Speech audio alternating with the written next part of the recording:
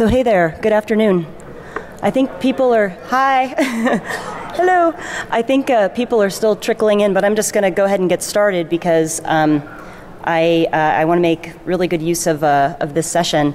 Thank you all for coming. I'm amazed by the turnout because I know there are a bunch of other really cool things going on. So, thank you for coming. My name is Marcia Hofmann. I'm a senior staff attorney at the Electronic Frontier Foundation. Thank you. Thank you. Uh, how many of you know uh, what EFF is? Okay. All right. So, for those who don't know, uh, we are a nonprofit based in San Francisco, and we work to protect uh, digital civil liberties. And um, the talk that I'm giving here today is one that I'm really excited about because um, it's a topic I, I, have been thinking about a lot for the past couple years, and I love to geek out about it. And in the past uh, couple years, when I've come to DEF CON, um, people really seem interested in this topic. And I speak at a lot of inf- information security conferences and hacker cons, and sometimes I talk about this a little bit as part of my presentations, but I've never done one that just focuses on this. And I'm, I'm really excited to get to you know completely geek out on it with all of you guys. So thanks for coming. So I'm going to talk about. Um, the Fifth Amendment privilege against self incrimination and uh, the way that that applies to uh, government attempts to um, force people to turn over passwords or encryption passphrases or actually decrypt information. So I'm going to hit. Um, I'm going to hit three main things today. The first is I'm going to give just a general overview of the Fifth Amendment privilege against self-incrimination, you know, where it comes from, what the test is, how that works, so that we are all on the same uh, page before we start talking about the stuff that we're um, a little bit more interested in, maybe, which is how it applies to government attempts to force people to um, decrypt information or turn over passphrases. And um, finally, I'm going to talk about ways that a person could increase the likelihood of having a valid Fifth Amendment privilege against self incrimination um, if it ever came down to um, facing an attempt uh, by the government to force you to decrypt data. So, of course, the standard legal disclaimer this is not legal advice, this is just information. Um, if you have uh, a question that's particular to your own circumstance, you should talk to a lawyer about that. Um, if you don't have a lawyer that you like to talk to at this point or that you feel comfortable talking to, you should feel free to call us. And um, if we can help you, we will. And if we can't, we will make every effort to refer you. Okay, so first of all, we're going to start with the basics. The, the Fifth Amendment to the United States Constitution says a whole bunch of things, but one of them is no person shall be compelled in any criminal case to be a witness against himself.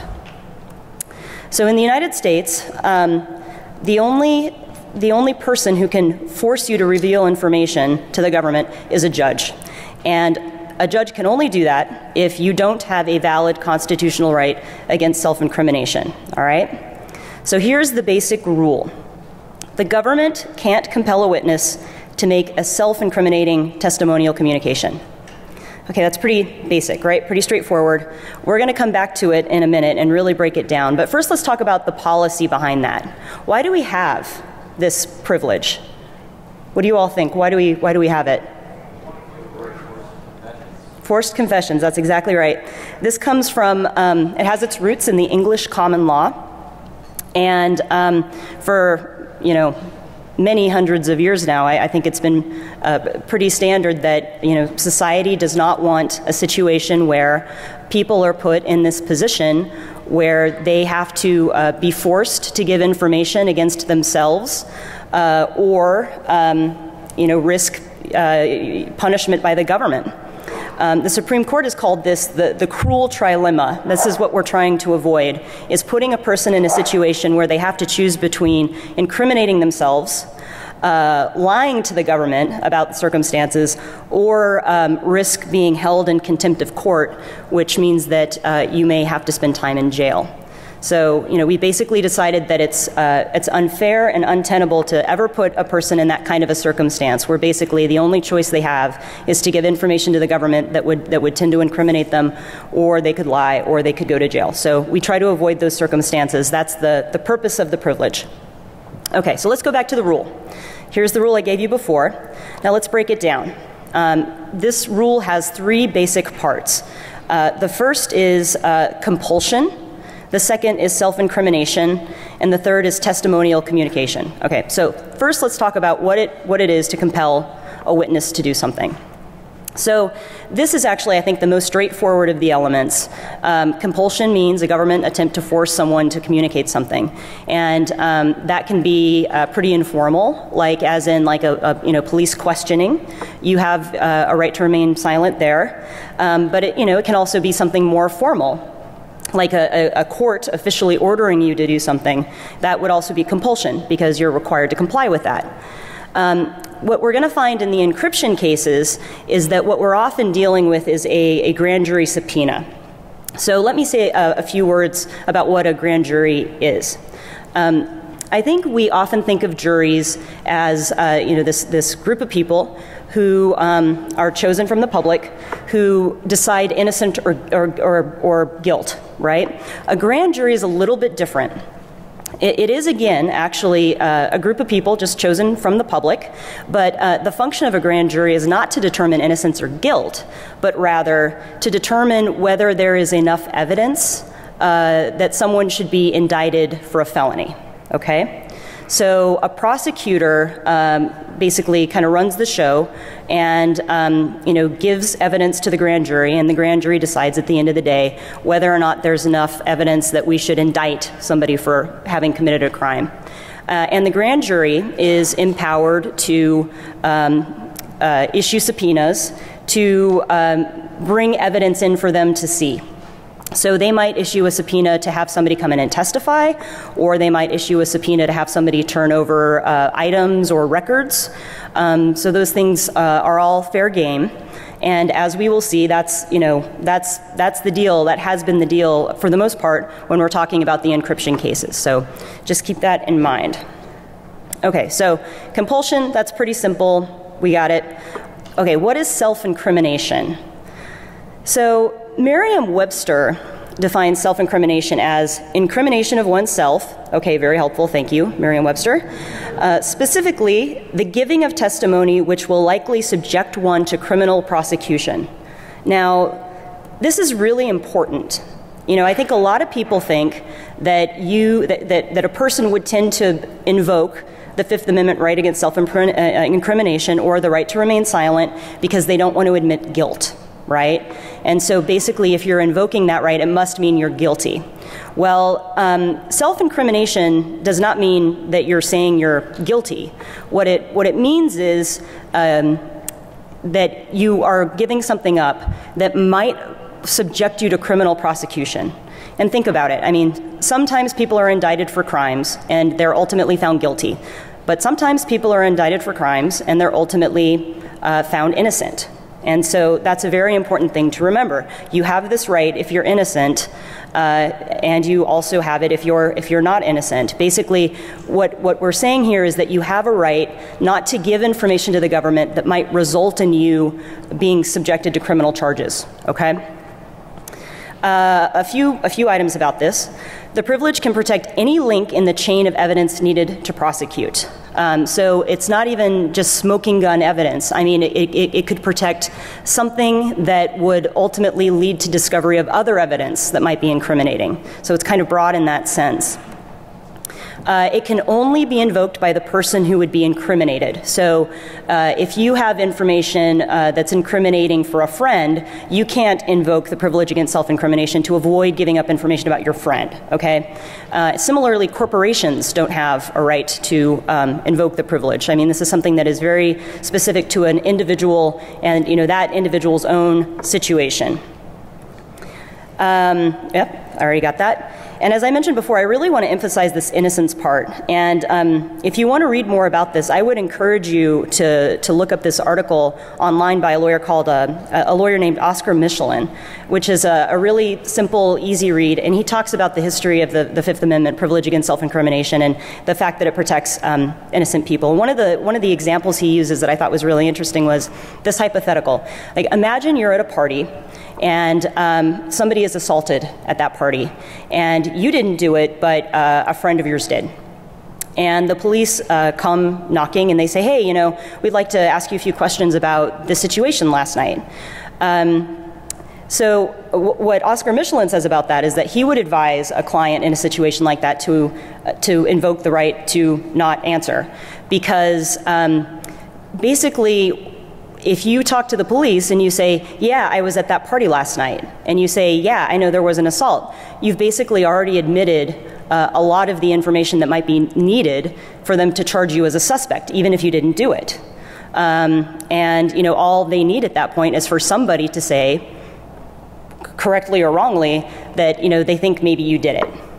And you know, at that point, you you may be falsely charged. And you know, he says, why would you, if you don't have to help them at all, why would you? Why would you give them anything that they could use against you? Because they can't use your silence against you, right? So I thought that that was a really interesting and good example. And um, you know, I, I, I this innocence thing, I know I keep harping on this, but I, you know, it's because I think a lot of people have a misconception of this privilege. And you know, the, the Supreme Court, in a case called uh, Ohio versus uh, Reiner in 2001, you know, made this really clear. Um, in that case, the Ohio Supreme Court decided that a, a, person who maintains innocence cannot also invoke the Fifth Amendment privilege against self-incrimination. And the Ohio Supreme, uh, sorry, and the U.S. Supreme Court reversed that and said, no, that's not true at all, because you know what we really want to do with this privilege is protect people who uh, may be caught in, you know, ensnared in ambiguous circumstances, um, and you know, actually haven't done anything wrong, but you know, it might look like they they might have. Okay, so that's incrimination. Now, the third one is uh, the third element is testimonial communication. You, you know, you, the government can't compel a witness to make a self-incriminating uh, testimonial communication. This is the really sticky wicket. And this is the, the issue that's been, I think, most at issue in the encryption cases. So, a testimonial communication is one that reveals the contents of your mind, it's something that reveals your knowledge. Um, a testimonial communication is not something that already exists, okay? So if you happen to have an item in your possession and uh, you know the, the, police try to compel you to turn that over, you know if it's just some item, um, that's not a testimonial communication, right? Basically, they have to be forcing you to say something you know. And the Supreme Court has uh, made a comparison that I think is useful when we think about this. Um, the Supreme Court said, you know, imagine the police uh, trying to force you to reveal um, the uh, combination to a to a to a combination lock uh, versus you know, them asking you to surrender a key in your possession. Um, obviously, the, the combination would be in your in your mind. Uh, the key is not in your mind, and so the Fifth Amendment privilege against self-incrimination would protect the first, but not the second. Okay. And you know, for similar reason, the, the privilege doesn't um, protect you from having to turn over things like handwriting samples, voice recordings, blood samples, fingerprints. These are things, they are just facts about you. Everybody has these, these things. Um, if they try to force you to turn this kind of thing over, it generally would not, uh, it would not uh, implicate the Fifth Amendment privilege against self incrimination. But there's a twist that gets a little bit uh, tricky. So the Supreme Court has said that the privilege against self incrimination can apply to an act of production if it has testimonial aspects to it. So there can be circumstances where law enforcement or the government asks you to turn something over, and the fact that you turn it over can reveal uh, something testimonial. So, what would that be? The circumstances we're talking about are situations where producing something would tend to confirm the existence of it or its authenticity or that you had possession of it or control over it. And if that is um, something that would tend to incriminate you, then the act of turning it over might be protected uh, by the Fifth Amendment. So I just told you though that you know turning over a key wouldn't wouldn't implicate that, right? So how do we how do we parse these things?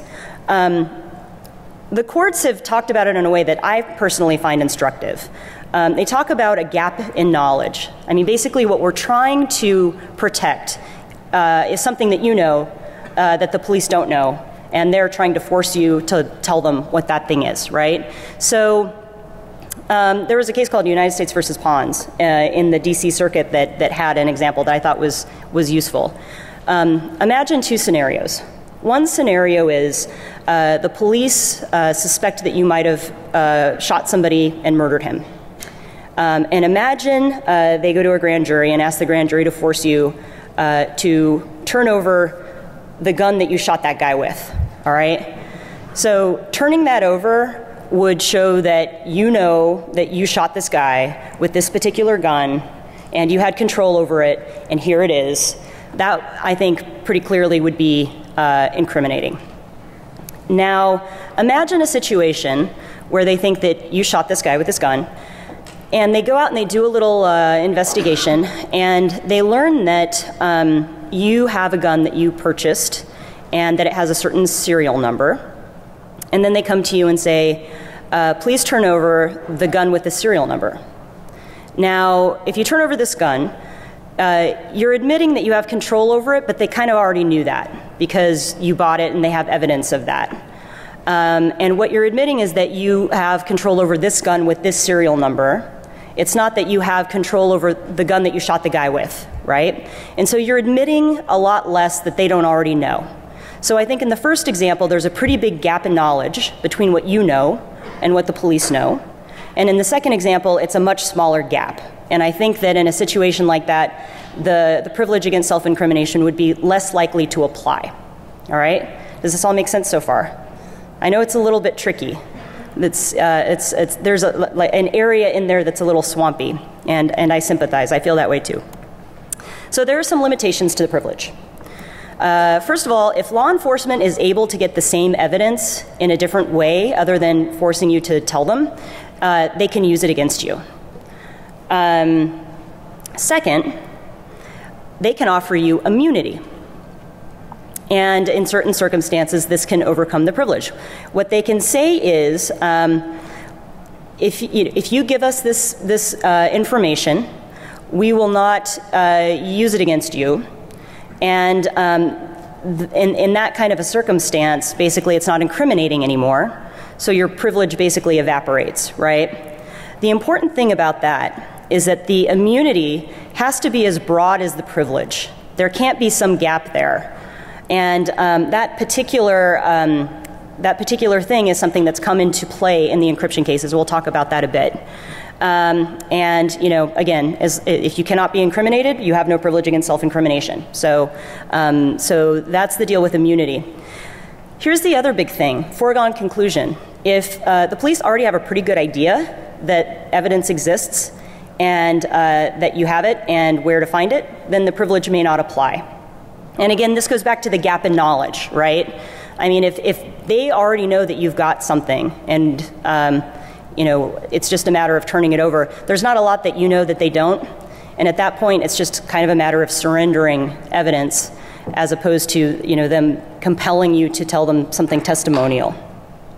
Um, I, think three circuit courts now, uh, DC, uh, Ninth Circuit, and 11th Circuit, have said um, the government has to know about the existence and, and location of the evidence with reasonable particularity. I don't know what that is. Reasonable particularity. I think it's whatever the judge thinks it is. So here's something to keep in mind. Um, people ask me sometimes, you know, well, wait a second, you know, if, if, the, if the government um, has, you know, proper legal process and they've, you know, kind of checked all the boxes and the, the, the uh, guarantee against um, unreasonable search and seizure hasn't been violated, then aren't they just entitled to this stuff? I mean, like, how does, how does that work? So, something to keep in mind is that there's the Fourth Amendment, which protects against unreasonable search and seizure, and there's the Fifth Amendment, which protects against um, uh, self incrimination. And they are distinct and separate things. And it is possible for the government to do everything right over here, check all the boxes, and no Fourth Amendment violation is happening. But if they are forcing you to, uh, to make a testimonial communication, that is something separate and distinct. And um, I think we'll see how that plays out a bit as we talk about the cases. So, the cases. I'm going to tell you about all the cases that have ever been done in this area. And there aren't that many, there are like five, so don't worry. It's not going to take all afternoon. But um, I think it's really interesting to go through and see exactly how this has uh, come to pass, uh, and, and we are where we are now. So the first one is a case called In Re Grand Jury Subpoena to Sebastian Boucher. And this is a case that came up uh, several years ago. Uh, you'll see there were two uh, citations there. There are two opinions in this case, the first in 2007, second in 2009. What happened here is there's a guy Sebastian Boucher, wonderful name. He was coming from uh, Canada into Vermont, crossing the, the border. Um, I'm not going to get a whole lot into Fourth Amendment stuff here, but uh, I will tell you that your Fourth Amendment rights at the border are not very strong. In fact, they're quite weak. And so uh, border agents can search pretty much anything uh, that you bring across the border. And he uh, drove across the border, and uh, in his car, he had with him a laptop. And um, as far as I can understand from the opinions, I think the laptop was probably on. And um, he was stopped, and uh, the border agents uh, searched his stuff, including his laptop. And uh, there was a border agent who spotted something on there that made him concerned that there could be child porn on this laptop. And so he calls in uh, another, uh, another border agent who's um, you know, kind of more, more forensically uh, skilled. And um, this guy questions Mr. Boucher a little more seriously and looks around the laptop a bit more. And you know, he uh, he actually asks. He says, "Hey, do you have any child porn on this laptop?" And Mr. Boucher says, "Well, you know, sometimes I download things from the internet, and um, you know, I, uh, I I don't think it's child porn, but if I ever see that it is, then I just immediately delete it."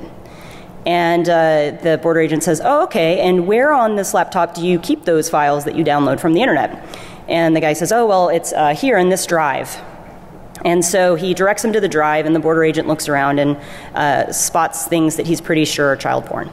So at that point, they um, arrest Mr. Boucher, and um, he is uh, facing the possibility of, of, charges for child porn. Uh, they shut down the laptop and uh, later they realize that uh, the drive that he had directed them to is encrypted. And they say, uh, well, that's a problem. And I, I, think they try, to, they try to brute force it, no luck. And so they go to the grand jury and they say, uh, we'd like you to uh, force Mr. Boucher to um, give us the password to this drive. And a, a magistrate judge uh, listened to that request. Now, a magistrate judge is, uh, you know, kind of the you know, all judges are highly esteemed and, and res- greatly respected people, but a magistrate judge is kind of the lowest level judge that there is. Um, again, they're all highly esteemed people, and now the magistrate judge wrote what I, I think is a really great opinion the magistrate judge said, Well, listen, I think that if you force him to turn over this encryption passphrase, uh, that is going to violate uh, his Fifth Amendment right against self incrimination because it is a, uh, it's compelled, obviously. Um, it would be incriminating, obviously. I mean, they're looking at charging the guy with child porn. Um, so the question is is it, is, it, is it a testimonial communication? And, you know, it's something that exists in his head. If, he, if you're making him give it up, uh, it, it's pretty clear to, to us that that would be um, that would implicate the, the Fifth Amendment. Um, the government said, well, uh, we would be willing to give him immunity uh, for the act of production. Um, so think about that, the act of production. So basically, they couldn't use the fact that he turned over the password against him, but that would still make it so that they could use anything they learned as a result against him. Okay? Well, yeah, I, thank you. Thank you for that look. I know, right? I, I thought that too. Well, th- this, this puts people in, a, in, an interesting situation because. Um, you know, as I mentioned before, in order for immunity to, you know, kind of wipe out the, the privilege, it has to be coextensive with the privilege. And if we go with this act of production theory, then what that means is that, okay, it can't be used against you that you type in a password or something, but then it's like, oh, look, look at all this evidence. I don't know where this came from. It's like the elves just delivered it onto my desk. And the Supreme Court has actually said this. They didn't use the elves thing, that's me, but they, they called it the, the, the manna from heaven theory. It's like it, the evidence just magically appears. It's like, oh, look at this evidence. I don't know how this got here. Um, and then they can use it against you, right? And the Supreme Court, in a case called United States versus Hubbell said, no, no, no, no you can't do that. I mean, if, if it's going to be extens, you know, if, if, the, if the immunity is going to be uh, coextensive with your privilege against self incrimination, then it has to extend not only to an act of production, but whatever they learn as a result of that, all right? But of course, you know, if the if the government can find that out in some other way, then you know that's fair game. So, so here, um, the magistrate judge, our our good friend, the the highly esteemed magistrate judge, um, said, you know, this act of production thing, I don't think that's going to cut it. I think that you would have to you would have to have a, a, a broader immunity than that. And he also said, you know, I also don't think it's a foregone conclusion that you are going to find uh, you know, what you're looking for on there. I mean, you might find that, but there are all kinds of other files too that you don't know anything about and you don't know what they are. And, uh, you know, I, I, think that foregone conclusion certainly doesn't extend to that stuff. So um, I'm going to deny the government's request here. I'm going to quash the subpoena. I love that legal term, quash, quash the subpoena. Um, so the government was like, okay, well, what if we do something else here? What if instead of having him turn over the password, what we do is um, he, we just compel him to turn over a decrypted version of the data, all right? And um, you know, this is kind of like a like a funny like procedural thing. Um, it's kind of framed as an appeal of the lower order, although they kind of you know change the request over the course of time. So um, you know, at this point, we're dealing with a full fledged district court judge um, who's hearing the appeal, but he's actually looking at a slightly different issue. It's no longer about you know, whether this guy is going to turn over the password, it's, it's about whether he's going to decrypt the information and then turn over a version, an unencrypted version of that information. So it's different. And this judge says, okay, well, um, I don't think that the Fifth Amendment privilege against self incrimination goes to the underlying data because that was voluntarily prepared, it's already there. That data itself is not testimonial. However, the act of producing it uh, is something different. Um, he didn't go so far as to say that there was a valid Fifth Amendment right uh, to, you know, not to produce this information. But what he said was, here I really do think that it was a foregone conclusion that they are that they are going to find the evidence that they're seeking there because they, the guy showed them where it was. Like they know exactly where it is. It is in the Z drive. You know, he saw the file names, like he knows. So, you know, back to our gap in knowledge the, the, the gap in knowledge between what Mr. Boucher knows and what the government knows is basically nil. And so um, I'm going to order that uh, Mr. Boucher produce uh, what the government's asking for. Interestingly, he also ordered that uh, they could not use the act of production or anything they learned as a result against him. So while they ultimately found that uh, he did not have a valid privilege against self incrimination that was strong enough to keep him from having to turn it over, um, he still ordered that um, you know the, the, government had to comply with a certain immunity that they hadn't even offered. Like it was broader than they had offered. So i think that's a very strange uh, twist in that case. And um, I, I, you know i speculate that maybe the judge you know had some concerns um, about, the, about the privilege, even though he found that ultimately it was a foregone conclusion that the government was going to find what it wanted there. So that's Boucher.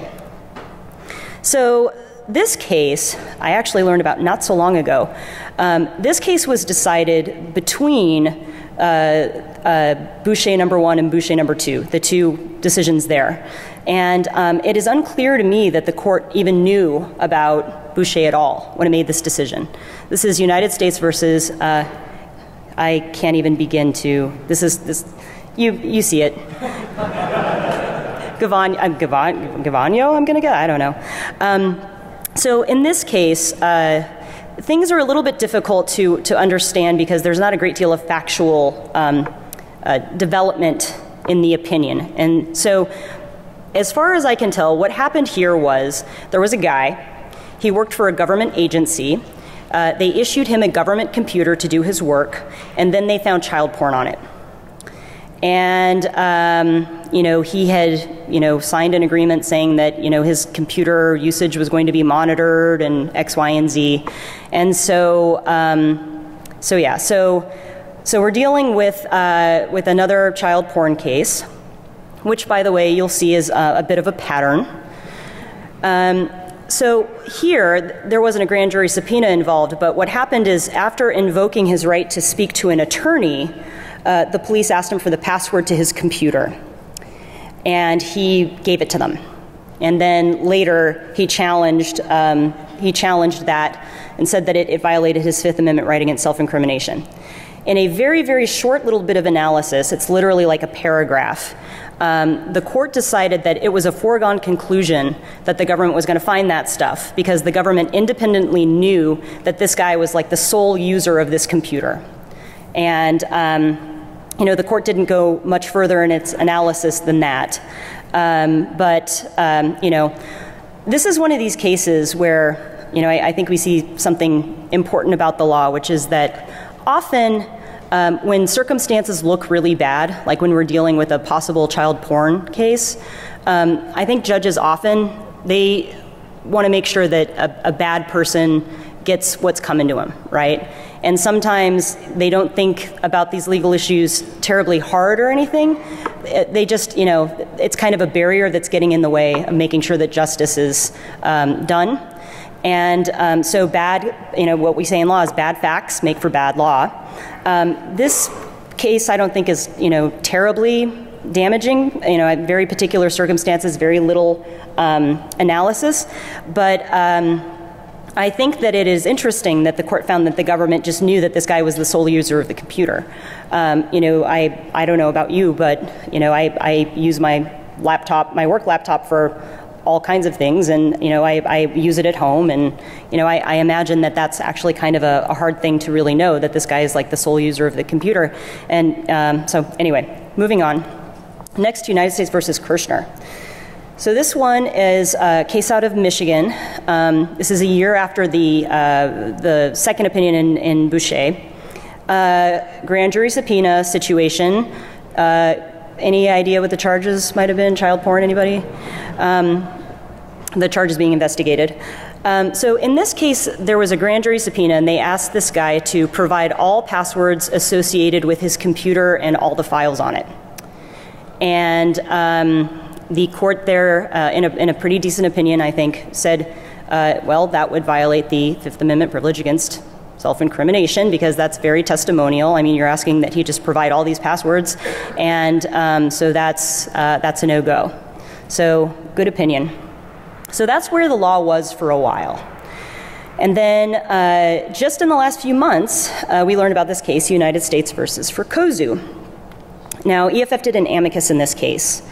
Uh, situation here is there was a woman and she and her ex husband um, were being uh, investigated and they were ultimately indicted on uh, mortgage fraud uh, type uh, charges. So, mortgage fraud, that's like, it's amazing.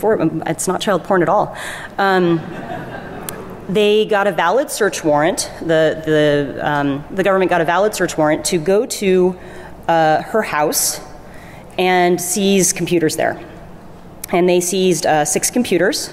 Three of those computers were laptops. One of them was encrypted. And uh, the government was like, well, uh, and they, um, they uh, went to a court and asked that she be forced to basically help them execute that search warrant by uh, providing um, her uh, passwords or a decrypted version of the data in the alternative. So uh, again, this is, I think, a really good uh, point to think about this Fourth Amendment versus Fifth Amendment, right? I mean, even if they did everything right and they got a warrant and they checked the boxes, uh, no violation of uh, um, the search and seizure protections of the Constitution, they still need her help, which implicates the Fifth Amendment, and it's different, right? Um, so, this woman, after the computers were seized, uh, she had a conversation with her ex husband who was in, in uh, prison uh, on unrelated things. And um, when you talk to somebody in prison, uh, the government, uh, uh, I, I, think probably always, records that call. And so they had this conversation, and she mentioned that uh, these computers had been seized, and that there was an encrypted laptop, and that uh, she wasn't going to provide the password, and um, you know talked a bit about in very uh, vague terms about what might have been on there, and the government might be interested in that, blah blah blah. And then the government had that recording. And so what they argued was that.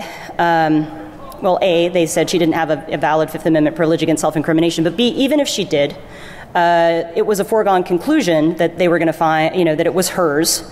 Um, that the stuff on there, you know, she had control over it. That uh, you know, the stuff on there was, you know, authentic. So that uh, the foregone conclusion doctrine would apply. So that um, you know, she turns it over, no big deal, because they already know everything that she knows, right? And um, in this case, they offered her a limited immunity act of production uh, that didn't go any farther. So, again, that's our little elves coming and dropping the evidence on your desk. And um, so the court found that she had to turn over uh, her passwords. And um, what happened there was the court was like, well, you know, uh, there could be a, a privilege here, but um, the, the problem is that the government knows uh, that uh, the government has pr- a pretty good idea that it's hers. Um, and one of the uh, facts that the, the court identified for, for finding that was that there was um, uh, like a, a, a, an account login that they saw that actually had her name in it, right, on the computer. And they said, you know, seized it from her house, actually from her bedroom. Uh, there's a username that suggested that it's hers. Um, and so, you know, turning it over isn't going to give them anything that they, they don't already have already in terms of, you know, trying to link her to the computer. So it's not going to uh, harm her in the sense of, you know, admitting that she had control over this stuff or, or anything like that because uh, they already know that. They already have independent evidence that, that suggests that. So uh, I'm going to force her to disclose the password that they want. And um, actually, no, not the password. We're going to force her to provide a decrypted version of the data. That was it. And so um, that raised a really interesting question because, um, you know, was she going to do it or was she not? And um, she had a little bit of time when she, uh, you know, could you know think about it and decide.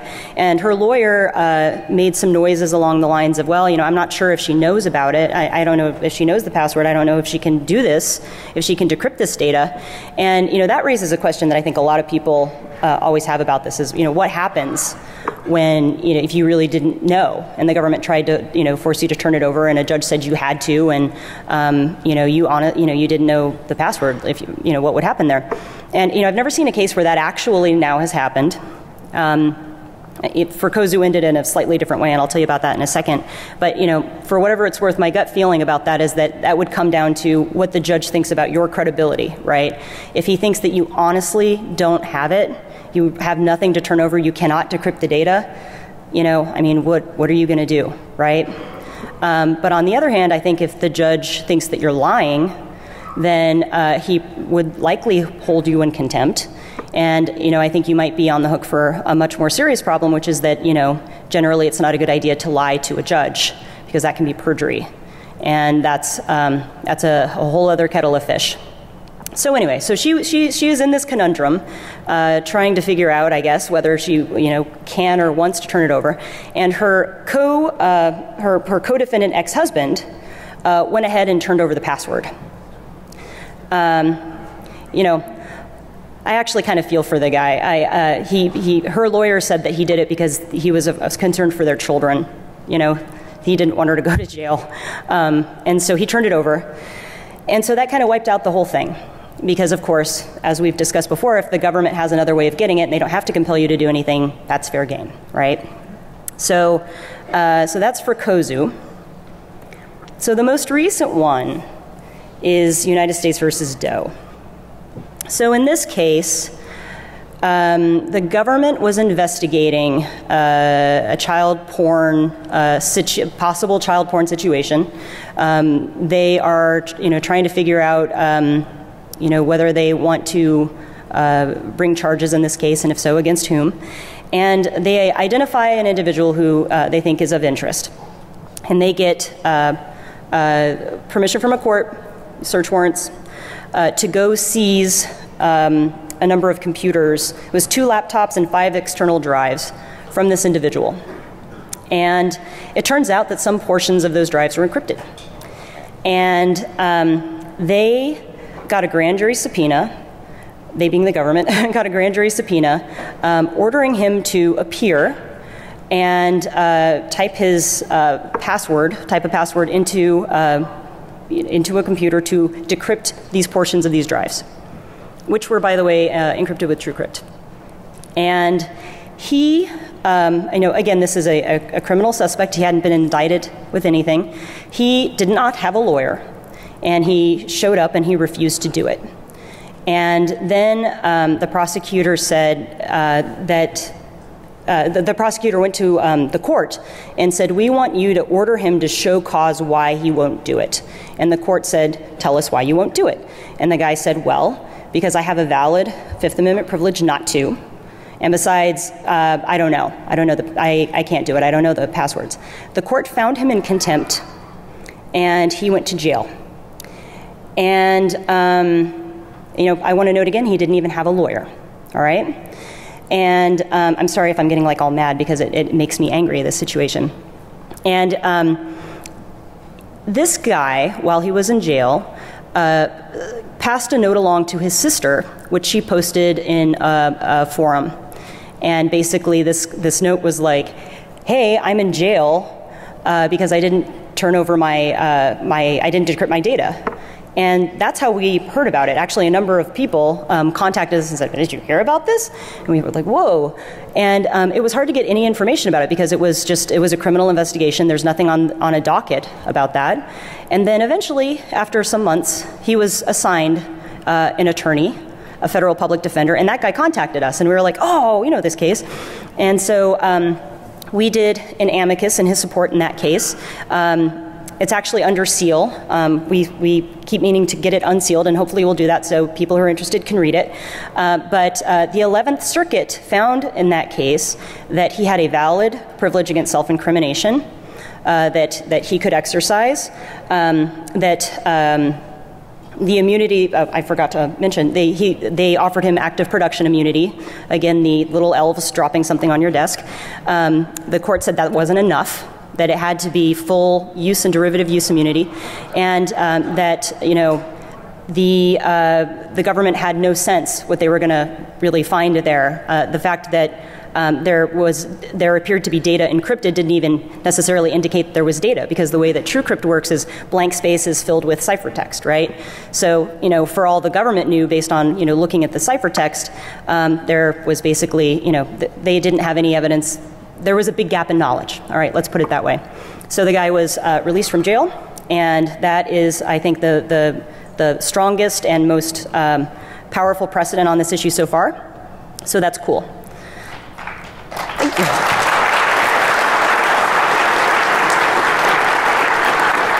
So I have five minutes and a bunch more slides, so I'm going to go fast. A few more things to think about, like thinking toward the future, okay? What about other forms of authentication, things that aren't in your mind? What about like biometric uh, credentials or two factor authentication?